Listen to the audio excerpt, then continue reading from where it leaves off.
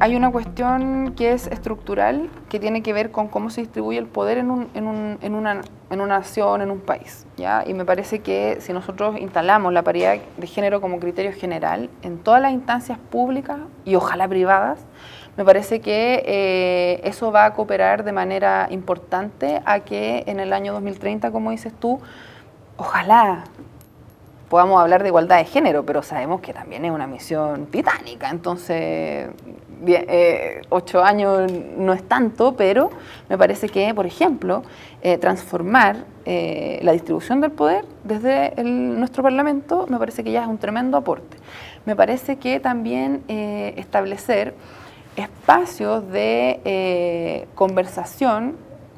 entre las distintas mujeres que eh, nos desenvolvemos en este Parlamento, por ejemplo, también es un aporte para tener no solo una visión eh, legislativa, sino que también una visión de realidad de cómo convivimos también en estos espacios y, eh, por supuesto, generar los distintos protocolos que tanto, ¿cierto?, echamos en falta en distintos espacios en los que nos desarrollamos o sea, no podemos dejar de mencionar que el acoso sexual en Chile no es un delito, por ejemplo. O sea, es algo que es totalmente impune, eh, lo mismo que con el tema informático. Entonces, cuando llegan personas a decirte, oye, ¿sabes que me están acosando? Oye, ¿sabes que eh, me están mandando esto por redes? ¿Qué hago? Chuta, y la verdad es que te quedas de brazos cruzados. Entonces, en eso me parece también que eh, tenemos bastante identificadas ciertas, ciertas eh, cuestiones que son relevantes de ponerles eh, un stop, que tiene que ver, por ejemplo, con eh, el regular, derechamente los distintos tipos de acoso, no solo el acoso sexual, sino que los distintos tipos de acoso que se dan en los distintos espacios en los que nos desarrollamos las mujeres. Estoy pensando en los trabajos, aquí mismo en el Parlamento, en los distintos ministerios, su secretaría, etcétera. O sea, en definitiva, en todos los espacios de la sociedad donde nos desenvolvemos. Entonces,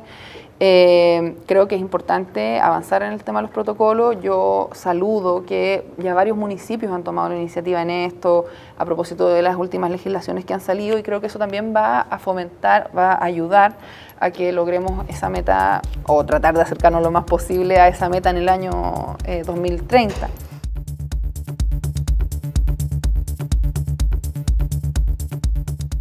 Hay un tema importante en lo que tiene que ver con los medios de comunicación, con cómo comunicamos y qué comunicamos,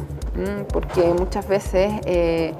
caricaturizamos cuestiones que son muy eh, sensibles, yo diría, para la vida de las mujeres en sus distintas eh, diversidades.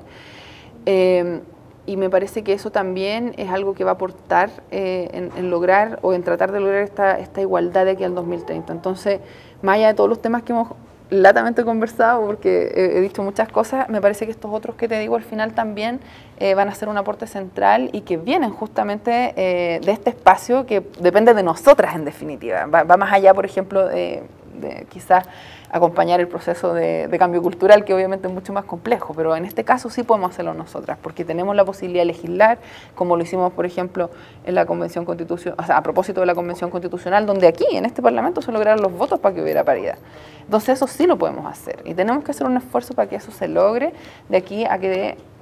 Eh,